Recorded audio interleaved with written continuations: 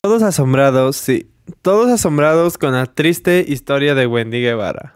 Pues bueno chicos, el día de hoy como sabemos pues Wendy Guevara estuvo nada más y nada menos que contando su historia y dice que a partir de ciertas ocasiones que le han sucedido y que no toman terapia pues le recaen ciertos sentimientos que no son buenos para su salud mental. Obvio. Pero al final de cuentas también Wendy Guevara menciona que tuvo que salir de un hoyo profundo y relucir y salir a ser Wendy Guevara, obviamente. Todo esto ha pasado por diferentes momentos, diferentes instancias y diferentes situaciones.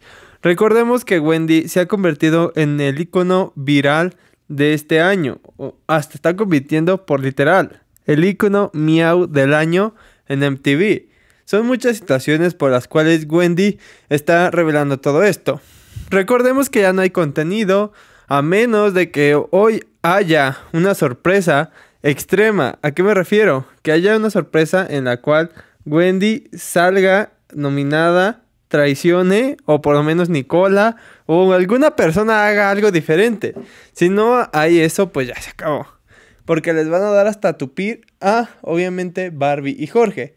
La única posibilidad es que todos se queden de acuerdo y que digan, ah, le vamos a dar todos los puntos a Jorge, por ejemplo, todos 3, 3, 3, 3, 3 son 15, si mal no recuerdo, y a Barbie le den, ay, le va a dar nomás un punto, o le voy a dar no sé cuántos. Y que Nicola le quite un menos 3 a Barbie y no salga nominada. Es la única esperanza que tienen, porque otra cosa no va a haber. Y pues bueno, chicos, al final de cuentas, Wendy abrazó a Emilio diciéndole que pues sí está feo lo que le pasó y todo. Dime tú, ¿qué opinas? ¿Crees que Wendy va a eliminar a Jorge o crees que va a eliminar a Barbie?